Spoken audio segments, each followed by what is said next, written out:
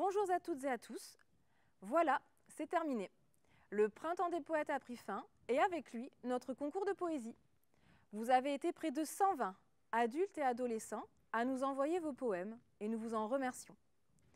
Le contexte ne nous a pas permis de développer toutes les activités que nous avions programmées initialement sur le printemps des poètes. Mais nous sommes très heureux de vos retours et de votre participation active sur le concours. Le jury a eu fort à faire pour délibérer. Plusieurs heures de lecture, suivies de plusieurs heures de débat, ont été utiles pour départager vos créations. Plusieurs textes ont fait l'objet de lecture à voix haute pendant ces débats pour mieux s'imprégner des sens des poèmes. Les choix ont été faits à partir de plusieurs critères que je ne détaillerai pas complètement ici, mais par exemple la construction du poème, la richesse de la langue, les tournures de phrases, l'originalité du récit, l'humour, le respect ou non du thème du désir, mais parfois seule l'émotion véhiculée et le message ont compté, en nonobstant les autres critères. Car c'est bien d'émotions dont il s'agissait. Nous avons accueilli tous vos témoignages, vos messages et vos désirs à travers ces poèmes. Certains ont abordé des thèmes courageux, comme la violence faite aux femmes, les drames vécus par les migrants, le désir de vivre à travers l'adversité ou la résilience.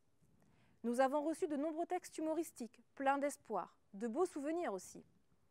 Et bien entendu, de très nombreux textes rappelant le contexte actuel de crise sanitaire avec le Covid, le confinement, la distanciation d'avec les proches, le mal-être de certains et surtout des plus jeunes dont on a bien senti la frustration, la tristesse même, à travers leur poésie.